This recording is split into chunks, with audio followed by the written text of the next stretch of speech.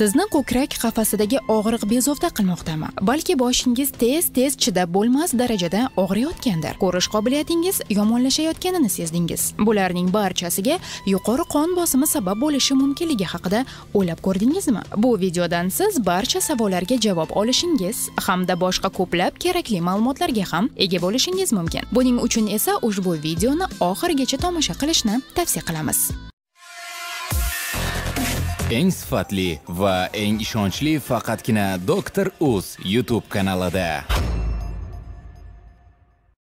Bugun biz sizlar bilan yuqori qon bosimining 10 ta siz bilmagan belgilari haqida suhbatlashamiz. Birinchi belgi ko'rish qobiliyatining pasayishi. Ko'zingizni qattiq yumib keyin tezda ochganingizda ko'z oldingiz qorong'ulashib qora nuqtachalar paydo bo'lishini sezasiz. Bunday holat to'satdan paydo bo'lsa ko'pincha kislorod yetishmasligidan dalolat beradi. Qon bosimi ko'tarilganda ko'zni qon bilan ta'minlaydigan tomirlar kislorod yetishmovchiligiga olib keladigan spazmni keltirib chiqaradi. Agar davolanish davolash o'z vaqtida boshlanmasa vaziyat yomonlashishi mumkin. Bunda oftalmologlar gipertonik retinopatiya rivojlanishi xavfi haqida ogohlantirishadi. Bemorlarda ko'z pardasining shishi bilan ko'z ichki bosimi ortadi. Mushak qatlami qisman kengayib ketishi mumkin va bu o'z navbatida miopiyaga olib keladi ya'ni ko'rish qobiliyatining kuchliligi yo'qoladi. Qon bosimi yuqori bo'lgan odamlarda asta sekin jismlar ikkita bo'lib ko'rinishi ko'z oldida yulduzchalar paydo bo'lishi mumkin. Ko'z asab tomirining ishishi bilan hatto ko'rmay qolishlik ham paydo bo'lishi mumkin.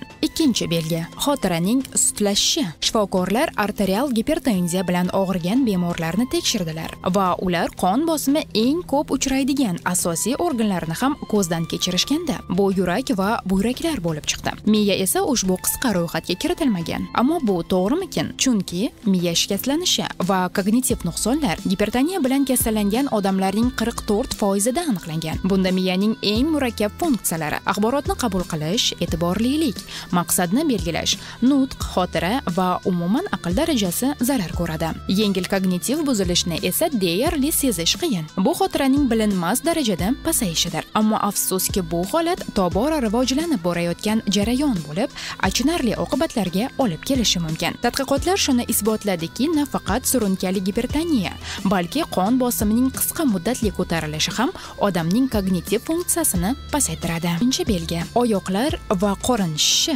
shishish jarayoni gipertoniyaning oddiy alomatidir. Haqiqat shundaki yuqori bosim buyraklar va buyrak usti bezlarining ishiga bevosita ta'sir qiladi va ular o'z navbatida bu organlarni ishlash jarayoniga ta'sir etib suyuqlikni chiqarib tashlaydi bu esa o'z navbatida to'qimalarda turib qoladi. Natijada tananing pastki qismida aniq shish paydo bo'lishiga olib keladi. Bu kabi vaziyatlarda ko'pincha varikoz tomirlari kengayadi. Ushbu holat gipertoniklarda keng tarqalgan. Agar odam kechasi ko'p suv ichsa erta tongda oyoqlarda shish paydo bo'ladi. Bunda odatda shifokorlar diuretik dorilarni buyuradilar. Qorin shishi kuzatilsa bunga jiddiy e'tibor berish lozim. Sababi bu jigar sirroziga olib kelishi mumkin. Ko'pincha homilador ayollarda shish paydo bo'ladi.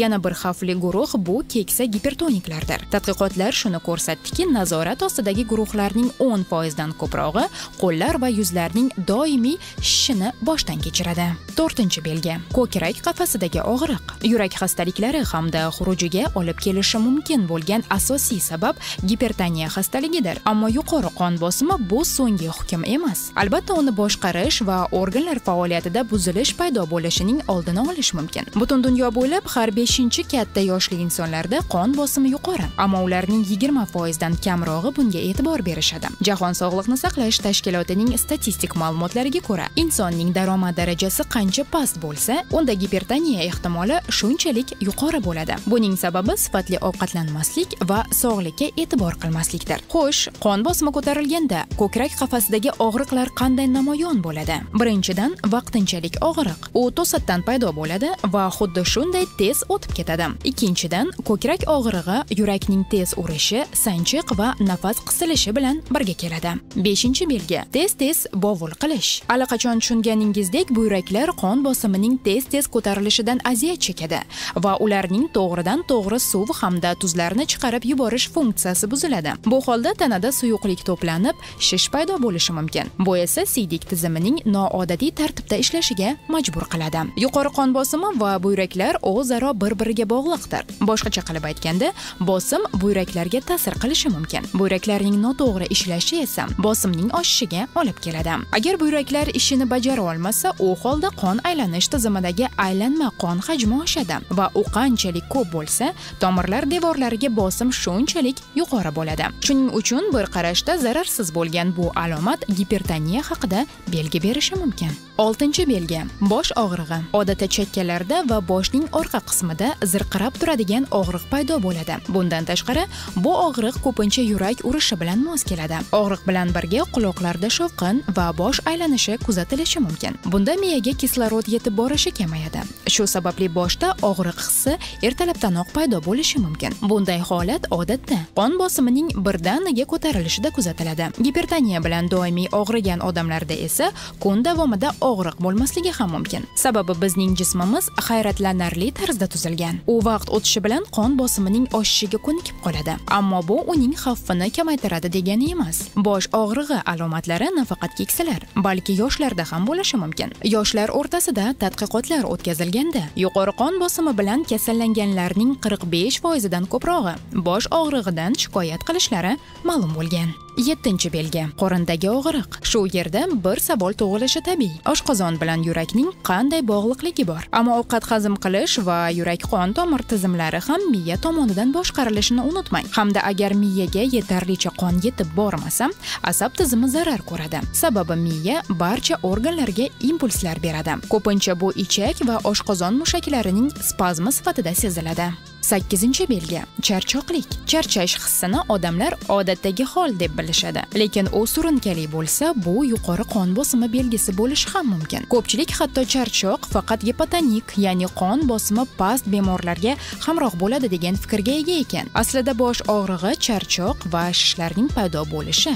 Yuqori qon bosimi tashxisida yaqqol belgi hisoblanadi. To'qqizinchi belgi. Yurakning betartib urishi. Bu kasallik hatto o'ziga xos tibbiy atamani olgan. Gipertonik aritmiya odatda bu gipertoniyaning boshlang'ich bosqichida ro'y beradi. Ammo agar siz bunga jiddiy e'tibor qilmasangiz aritmiya yurak yetishmovchiligiga yoki yurak muskullarining siqilishiga olib kelishi mumkin. Noto'g'ri yurak urishi qanday paydo bo'ladi? U birdan sababsiz tezlashib ura boshlaydi. Bunda bemor o'zini go'yo hozirgina yuz metr yugurgandek yoki yuragi uzoq vaqt urmayotgandek sezadi. Va nihoyat o'ninchi belgi haddan tashqari terlash. Yashirib bo'lmaydigan ho'l kaftlar noqulaylik keltirib chiqaradi. Ammo hech qanday sababsiz terlasangiz gap yuqori qon bosimi yoki gormonal buzilishda bo'lishi mumkin. Qoidaga ko'ra gipergidroz ya'ni terlash qon bosimining keskin ko'tarilishi bilan yuzaga keladi va qachonki normal holatga qaytsagina terlash yo'qoladi. Sizdachi yuqori aytib o'tilgan belgilar tez tez kuzatiladimi? Unda video ostidagi sharhlarda qanday belgilar bilan qon bosimining ko'tarilib tushganini taxmin qilayotganingizni yozing. O'zingizni kuchli va sog'lom his qilish uchun esa albatta to'g'ri ovqatlanish tartibiga rioya qiling.